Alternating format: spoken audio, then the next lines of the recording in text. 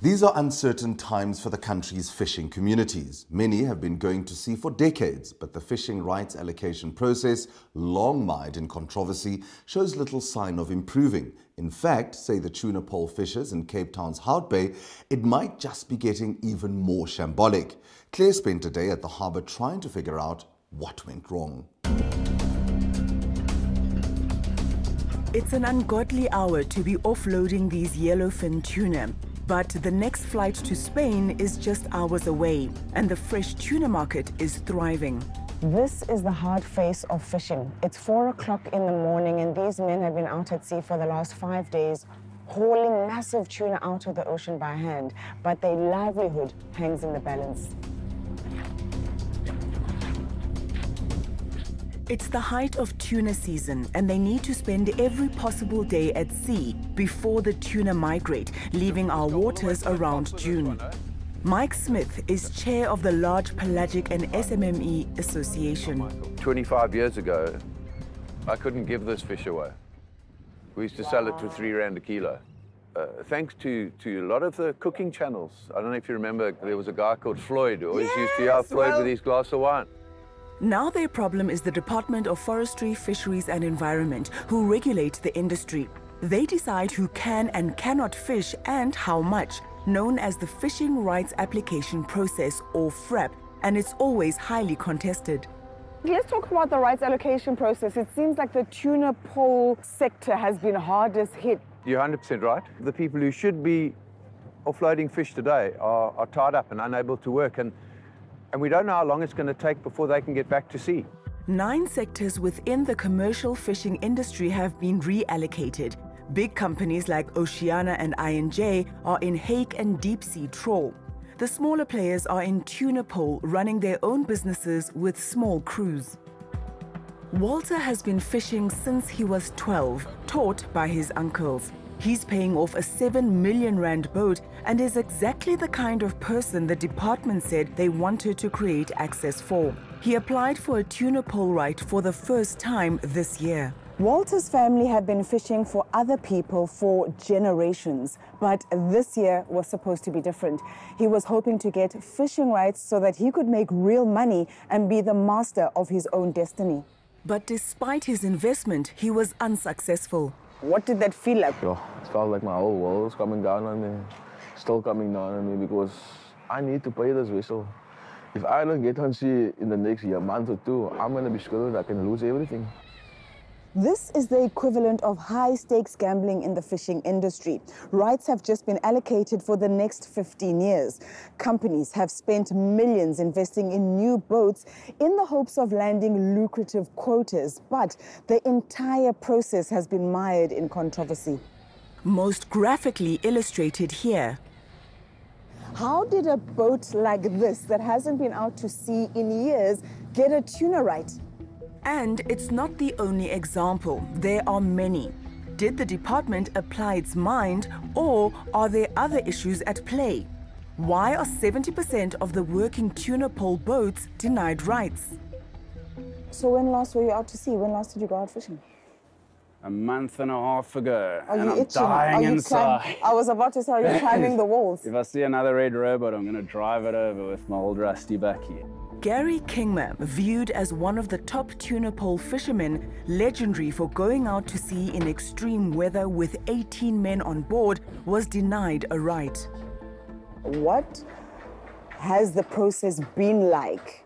Uh, it's been an absolute nightmare. It doesn't make any sense to us because as fishermen, we catch fish, and the more fish you catch, the better fishermen you are, but we don't seem to be scored on that in any way. It's got more to do with a whole lot of like different factors that industry has imposed on us and doesn't really make sense in our world. Rights allocation is a lengthy technical process that should have begun in 2018 and awarded in 2020. But after countless delays, the process only started in October last year. And when this rights allocation process came out, they were trying to rush everything, get it finished by the end of last year. We knew the department would never get it right in the time period, but they keep just saying you have to get it done, you have to get it done. This happens every single rights allocation process. We don't move forward, we don't learn from years past. We're actually getting worse each time round. And for the first time, it was done entirely online. But it appears it wasn't tested before it went live. The forms kept changing right up until the closing date. Data and applications entered went missing. People who had registered were simply not on the system. The questions were so complex and inappropriate for the majority of applicants, says Shaheen Moolla. The online system just failed. Um, it was introduced in, in, in a matter of days without any pre planning, no consultation with industry, not a single right holder knew what to expect uh, when this process came live, did not perhaps prejudice a large corporation um, with the resources, but it, it harmed our traditional line fishers who just could not work this complicated IT system. Also, wasn't it in, insecure? Like information that was loaded could be viewed by other people? I've got video evidence of me using my client's credentials and login passwords and landing on a third party's um, application, which I could have amended. Um, you know, deleted information, etc., uh, at will. And we don't know who did that or who suffered those consequences. Walter couldn't afford lawyers at 100,000 Rand to fill in his application. Most of that question on that thing was really, for me, it was hectic. I mean, we had endless nights of not sleeping because we were worried, what if we don't get, and there we didn't get anything. We were struggling with stuff. So the rights were then allocated in 28 days. How many applications were needed to be assessed, and was that a realistic number? 2,800 applications uh, were actually received across the nine fishing sectors. There was no way that the, uh, uh a human being could have conceivably received, evaluated, scored and made decisions on those numbers of applications in that time frame. The department acknowledged what they called glitches and after an outcry from the fishermen extended the deadline. Then said an independent observer deemed the process free, fair and transparent. Some fishermen feel otherwise.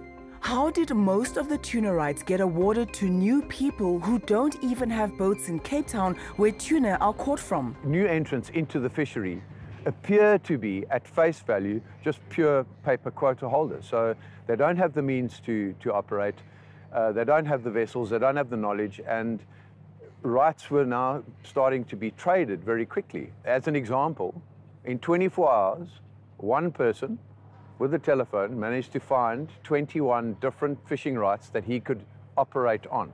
It, it started to highlight something that the department has actually tried and professed to wanting to get rid of.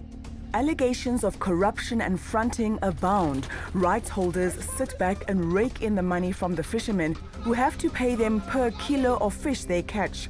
Yet they still carry the hard costs of repairs, new boats and crew.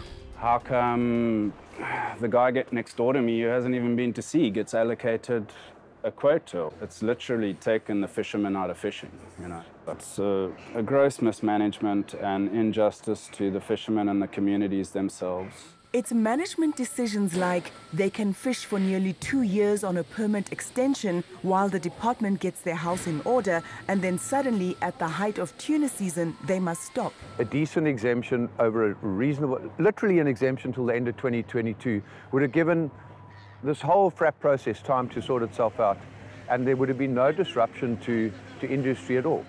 You know, no jobs lost. It sounds like the department doesn't really understand the nuances of this industry. Sadly, I, don't think they, they have the vaguest idea how the industry operates. Management at, at, at senior level at DAFF, that is, is, is one of our biggest challenges.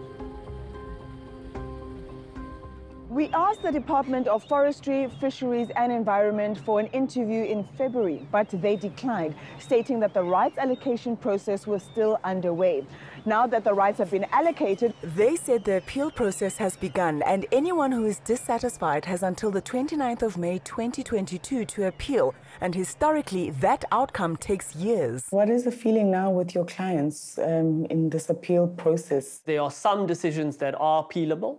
Um, the ones that are just blatantly exclusionary, just unlawful. On the other hand, there are those applications, and those uh, unfortunately outnumber the appealable ones, this is the end of the line for them if we don't go to court. Walter feels broken. He's back working other people's permits, paying them for every kilo of fish he catches. But for 15 years from now, what age am I going to be to apply again for a permit? Almost 60 years old to work for someone again. I don't want to go work for someone again. Thank you for watching our stories here online and please subscribe below to become part of our YouTube community and be notified when we upload our latest content.